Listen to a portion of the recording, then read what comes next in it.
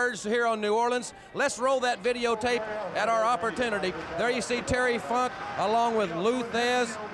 Great champions. Like, this is like the Hall of Fame, Jim, the who's who of wrestling. There's Gene Kiniski and Sam Muchnick, the premier promoter of all time in the NWA. There's Pat, Pat O'Connor. The only man from New Zealand ever to be the world's heavyweight champion. They had a very elaborate and a wonderful dinner at Doggies last night and uh, it was just a tremendous night. And Jim Herd had a statement to make to these dignitaries.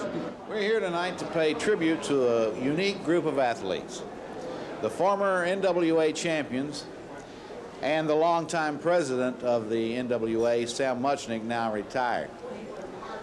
To Buddy Rogers and, and Sam uh, Muchnick and to Pat O'Connor and Lou Thesz, Dory Funk Jr., Gene Kiniski, and the still active Harley Race and Terry Funk.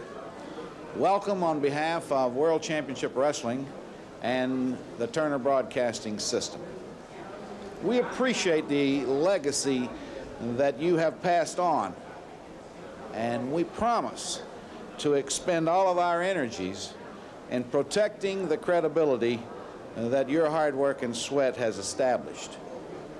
We're not asking you to be our shield And we will have to earn our marks uh, the same way you did. Ted Turner, Jack Petrik, and I salute you for who you are and what you have accomplished. And thank you for joining us.